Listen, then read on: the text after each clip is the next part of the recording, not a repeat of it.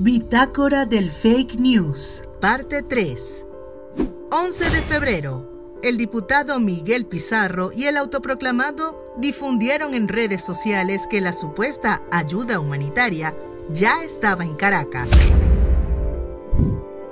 12 de febrero. El Wall Street Journal aseguró que China habría solicitado una reunión con Guaidó.